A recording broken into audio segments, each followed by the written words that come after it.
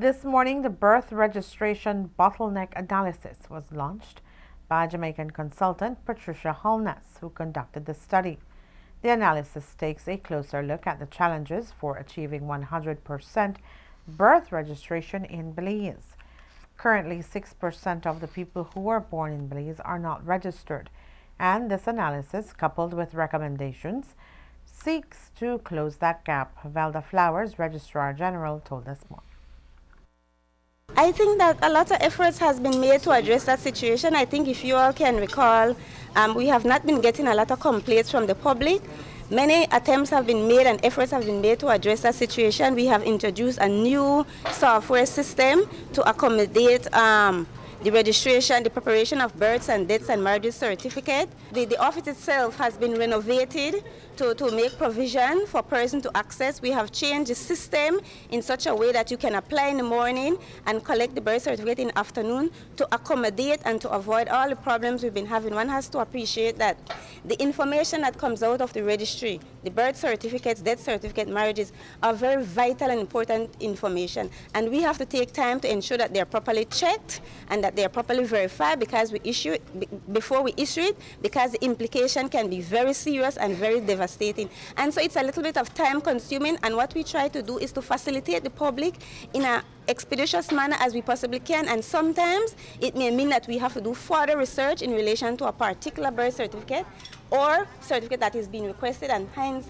that would consume some time and create a little bit of fuss where the public is concerned but we aim to try and improve that situation. I've been doing that since 2013 and the work continue in that regard. I'm not sure that we need to do much more than what we are doing. I think people has to appreciate that in other jurisdictions you don't get a birth certificate within an hour because we have an express service. You don't get it within a day, you don't get it two days. Other jurisdictions is much longer. So I think Belize is way ahead of most jurisdictions and we continue to strive to provide better service and we welcome any um, comments or recommendation that any might persons might have to assist us in providing the service that we think we should provide.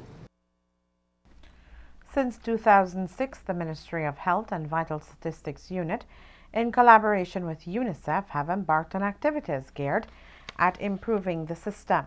In spite of those efforts, at least 6% of children remain outside of the system and are not registered.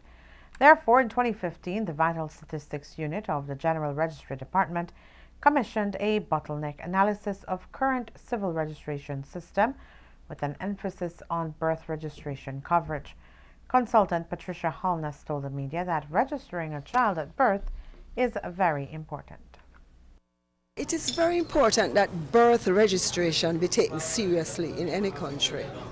And a mother, as you just said, bonds with her child.